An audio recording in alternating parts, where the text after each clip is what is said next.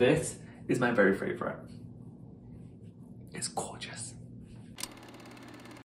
Hello everyone, my name is Tan France and I am a host on Netflix on shows like Queer Eye and Next in Fashion and today you are in my home right here in Salt Lake City and today I'm going to be sharing with First Dibs some of my favourite First Dibs items and my favourite vintage.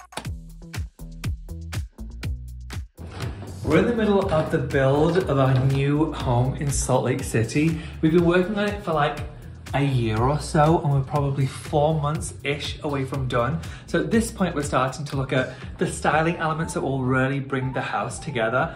For example, we purchased this recently from First Dibs. I love this so much. It's gonna go on the shelves in our new house, but it will live here for now. I also love First Dibs auction. I have purchased a couple of things through the auction, but my favorite thing, quite honestly, is this pearl and sapphire ring. I managed to get something that everyone else wanted.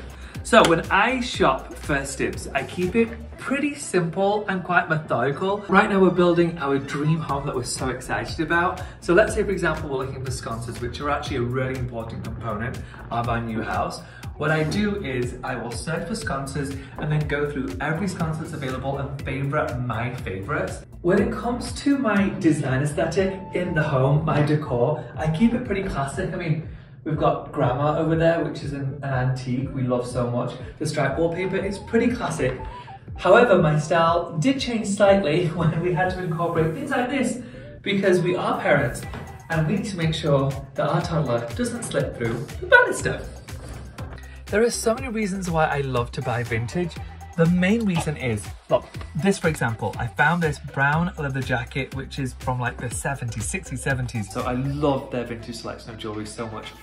It's broken in already, which is the joy of buying vintage leather. And pretty much nobody else is even wearing anything like this, which is one of the many reasons I love to buy vintage.